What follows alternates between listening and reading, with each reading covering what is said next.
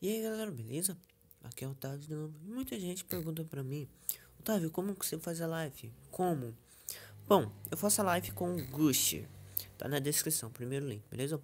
Beleza, você vai tá baixando, né? Você vai clicar, clicar nele, você vai apertar no YouTuber, você vai ter que configurar a sua conta e tudo mais, né?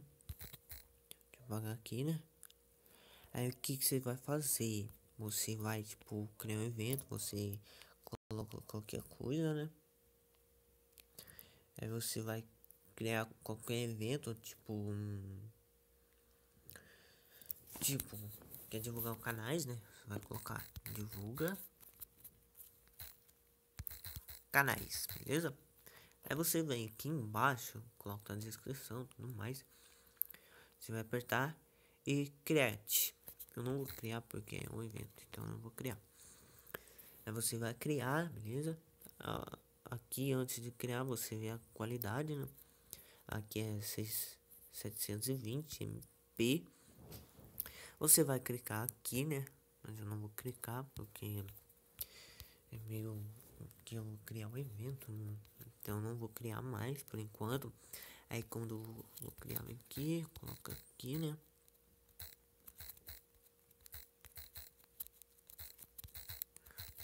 Vivo, né? Como eu coloco, né?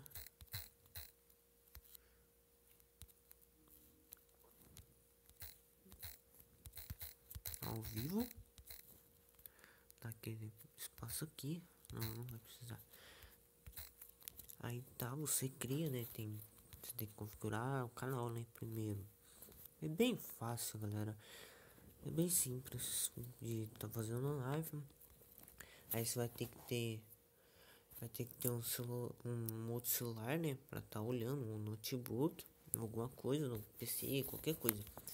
Se tiver, né, vai, vai ser muito mais fácil, né, porque você vai estar tá olhando, né. Aí você vai ter vai coisar a conta do canal, tudo mais, bem fácil.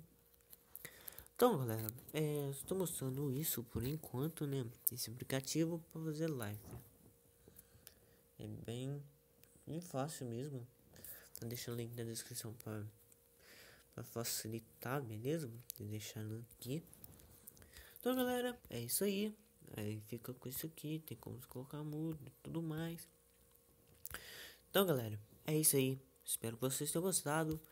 E até o próximo vídeo, galera. Fui!